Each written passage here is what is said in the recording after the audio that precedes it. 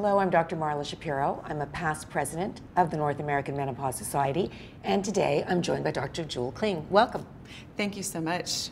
So, I'm the average woman, and I'm going to represent my patients who are the average women who come in, some with intractable hot flashes and night sweats, but come in with a healthy dose of skepticism and even fear and anxiety about the notion of starting hormone therapy, despite the fact it's been decades and we have so much more research. For me as an average woman coming in who's really quite bothered and I've tried everything else and nothing's working. Yeah. Um, is it permission that I'm looking for or is it information that I'm looking for? Hmm. That's a great question. It's probably a combination of things. You know, fear guides so many of our medical decision making as patients and even as clinicians. Um, but I, I, think there's just so much misinformation and myths out there that you probably heard from your friends, from you know social media and such. So um, I would see my role as really, uh, well, first of all, uh, evaluating to make sure you don't have any of those contraindications or reasons we wouldn't right. want to use hormone therapy but those are few. And if you are average risk and could use hormone therapy, really reassuring you that the risks associated with hormones is low.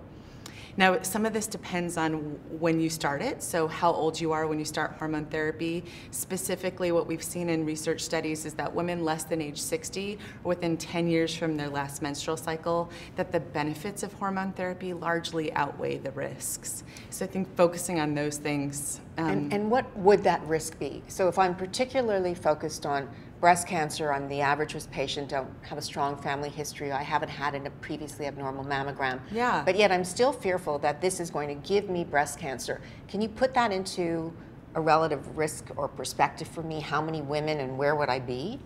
Yeah, absolutely. And that's probably one of the biggest fears we have as women is, is cancer, especially breast cancer. Um, well, it looks like there's a couple of things that influence that breast cancer risk. The type of hormones that you're prescribed, the duration of use. Um, specifically in the Women's Health Initiative, a study that looked at um, hormone therapy and risk found that after five years of use, that's when the risk went up. Um, and if you have your uterus, like you've not had a hysterectomy, so you need a, a progestogen, which is a medication that's used to protect you against endometrial cancer, it seems like women that take both of those have just a slightly higher risk of breast cancer. But I would want to reassure you that that risk is still low. Um, and that overall the benefits, especially if you're having life impacting, quality of life impacting hot flashes and night sweats, to, to not um, turn away from hormone therapy or disregard it, it can still be an option for you. Now, with that said, I would still encourage you to continue to get your um, breast cancer screening as recommended by your doctor, mm-hmm. um, and to implement healthy lifestyle habits that can significantly reduce your risk of breast cancer, like regular exercise, a healthy diet. And are there any other benefits? So we've talked a little bit about the risk, and mm-hmm. often it's breast cancer that women worry about more than anything. Yeah. But any other benefits other than my hot flashes and night sweats going away, which is a big benefit? yeah, that is a big benefit. Um, and hormone therapy is the most effective treatment for hot flashes and night sweats. I think a lot of my patients have heard, oh, you know, those other medications, antidepressants or gabapentin and things. And sure, the, those have a place, but remember, hormones are the most effective for hot flashes mm-hmm. and night sweats. And that not only helps your symptoms, but improves your quality of life and may help with other symptoms like sleep and cognition and those type of things too, just as a secondary reaction to your hot flashes and night sweats being treated.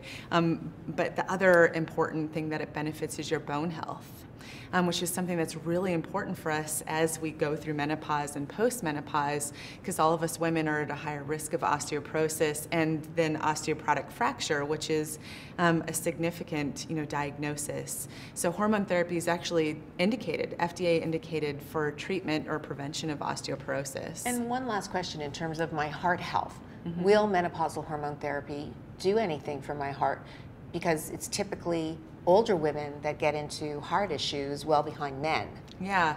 Well, what we see from the, the studies is that women that start hormones early in menopause, so less than age 60 or within 10 years from their last menstrual cycle, that hormone therapy is not um, bad for your heart health and may in fact be beneficial.